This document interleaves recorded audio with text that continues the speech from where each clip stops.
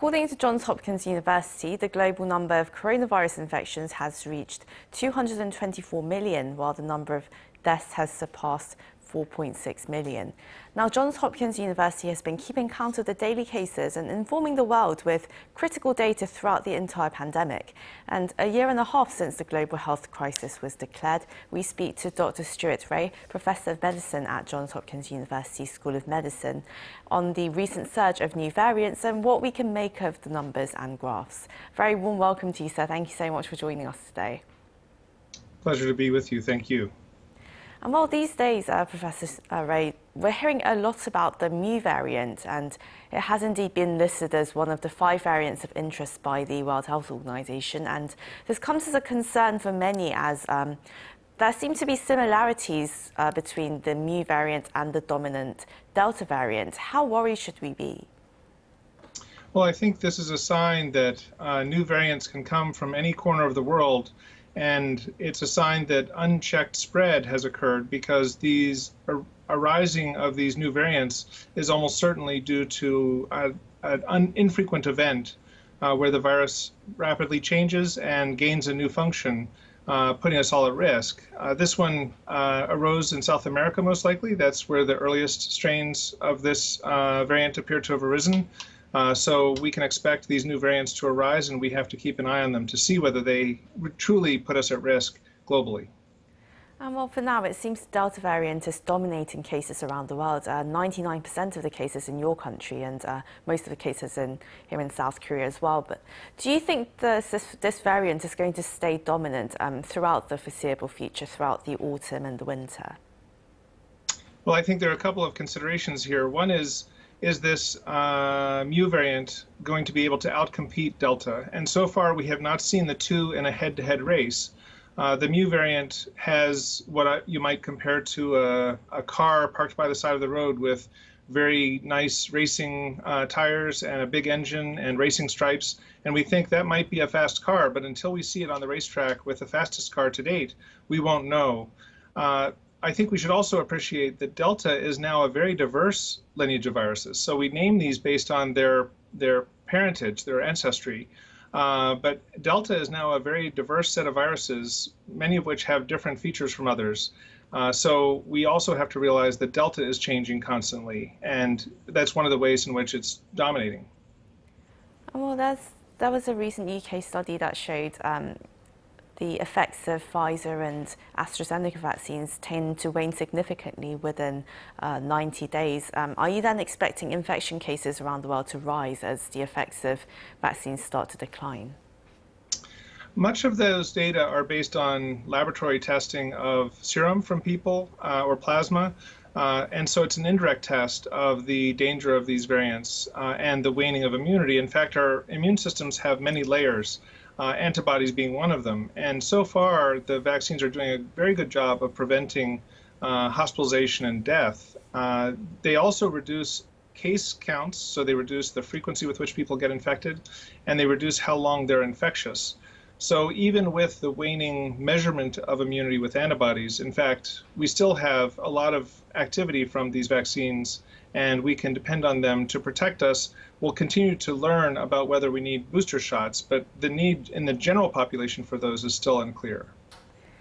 Oh, there's right now there's um, a growing amount of concern because of all the uh, variants that are uh, seeming to pop out of nowhere. And well, researchers are now tracking a new uh, coronavirus variant that was recently identified in South Africa, and it seems to mm-hmm. have a startling number of mutations, and it's called the C12 variant. Well, why is it causing such interest?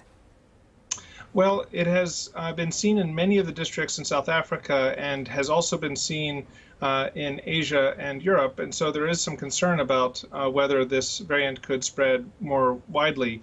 It has not dominated the epidemic uh, in competition with Delta, but it is highly mutated. Uh, now, we say highly mutated, but it has about 50 changes in the whole genome with a genome that has a length of 30,000. So still there's, uh, you know, one in a thousand or two in a thousand of the, all the nucleotides in the genome have changed. So it's still pretty similar, and our T cells can still recognize both of these quite well. But we need to watch for these uh, highly mutated versions because they might gain a new skill uh, that will cause us trouble. Right, and um, you said that the C12 variant is highly mutated, and it said that the rate of evolution is about 1.7 times as um, faster than the current global rate for the um, coronavirus variants in general. What does it mean for a variant to be highly mutated and also have a high rate of evolution?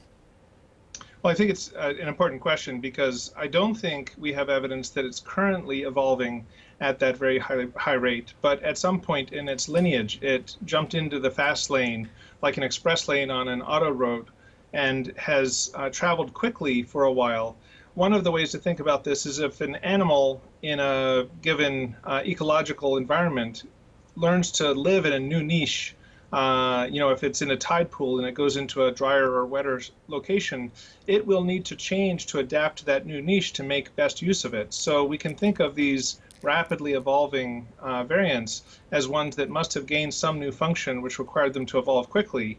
Uh, I don't think it's likely that these will continue to evolve quickly, uh, but it is a sign of some gained function at some point in its past.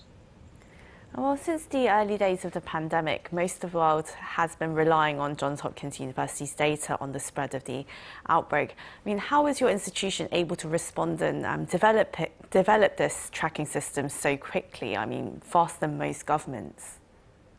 Well, I think it's good to be humble about this. We were dependent on everybody in the world contributing data, and one of the great lessons of this pandemic has been the value of globally shared data. Lauren Gardner, my colleague in civil engineering and one of her students, uh, in late January thought we should have a dashboard. And so in 48 hours, they put up this uh, data source uh, linked website. And they made it clear to everyone that the more data they were fed, the more they could display. And it's a wonderful illustration of humans working together across the world, uh, dealing with a pandemic that reminds us how small the world can be.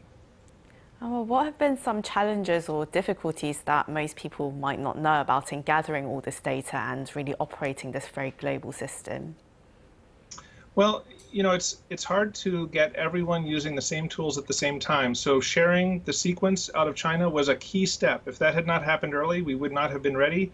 Uh, you know, Pfizer and Moderna very quickly uh, designed vaccines, as did other companies, and that was possible because of this data sharing it has been challenging to get health data shared globally for a variety of reasons, uh, in part uh, due to health privacy concerns, which are quite valid.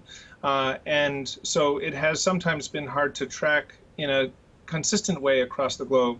It's also been a learning experience for all of us how best to test for the virus, how best to test for antibodies. I think we now have very good assays uh, but we had some confusion early on that I think undermined people's understanding, and that's made it hard to standardize the assays we use to detect infection and detect past infection.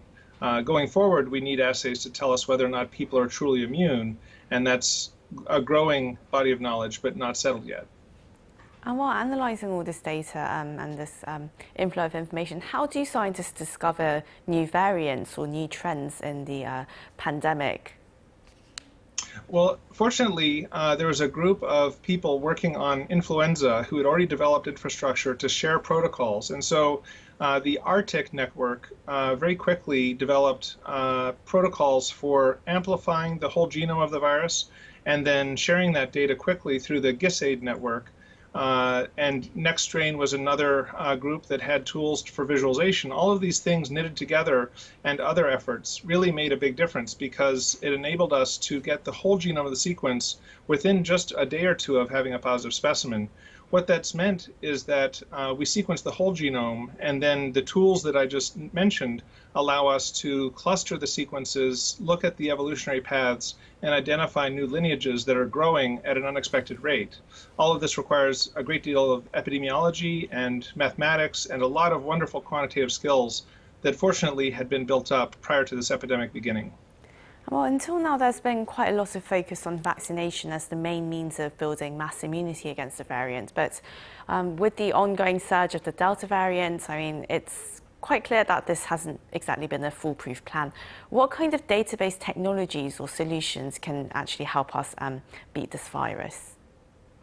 Well, I think increasingly local granular analysis of vaccination rates and uh, other testing and uh, case rates and hospitalizations and complications, and also the long symptoms, uh, tracking those to understand the full, full impact of this epidemic helps.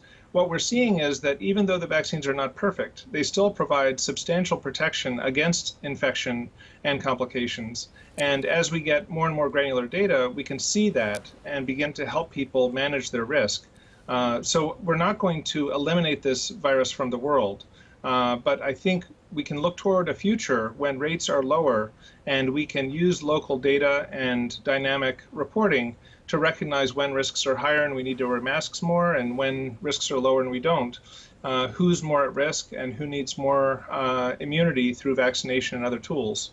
So we're learning all the time, but I think this will be a manageable future. We just need uh, the data to be uh, kept up uh, and open for everybody to use. Well, as you said, so many believe that um, the COVID-19 virus isn't going to go away completely and that there might actually be more uh, frequent outbreaks of viral disease in the future. What are your thoughts on this?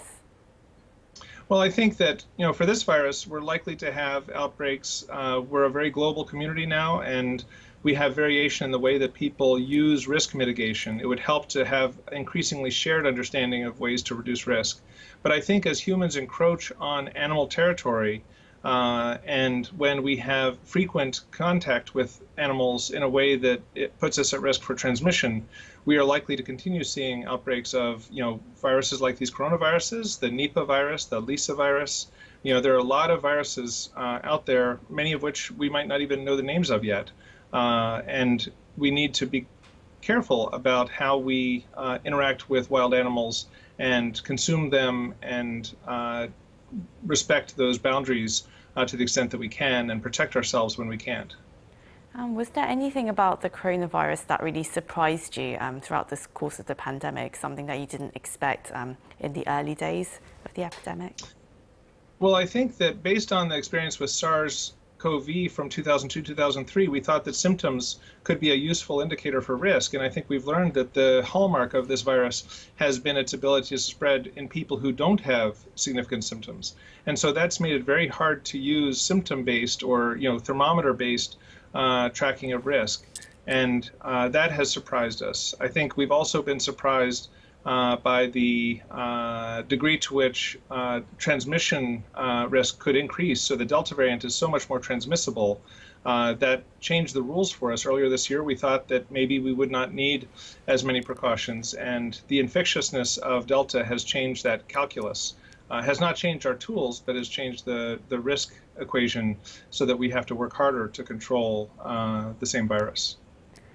Well, throughout this pandemic, we've seen a very um, rapid development of uh, COVID-19 vaccines, therapeutics, and even digital tools to help us um, flatten the curve. What kind of new breakthrough technologies are you looking forward to in the future based on this experience? Well, you know, it's funny because we worked at best at both ends of the spectrum. So pretty early, we found that in the sickest patients, corticosteroids like dexamethasone could be quite helpful for people who in extremis. We learned about the management of oxygen delivery in those sickest patients. Uh, so we were able to reduce death for those uh, most complicated patients pretty early, uh, you know, a year ago. Uh, unfortunately, uh, we've not developed great antiviral drugs. We have some moderately good ones, uh, but not great ones. And then the monoclonal antibodies uh, that have been developed are very useful for keeping people uh, out of the hospital. But once they're sick, they don't work as well. The problem is delivering those is difficult. Uh, vaccine development was a big surprise how rapid that came through.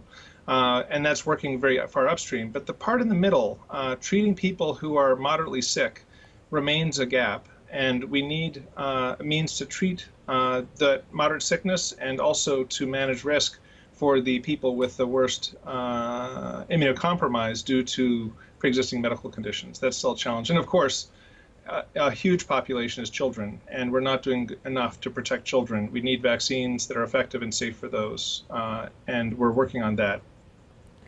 Dr. Stuart Ray, Professor of Medicine at Johns Hopkins University School of Medicine, thank you for your time today. Thank you so much. Pleasure to be with you. And to our viewers, as always, thank you very much for watching.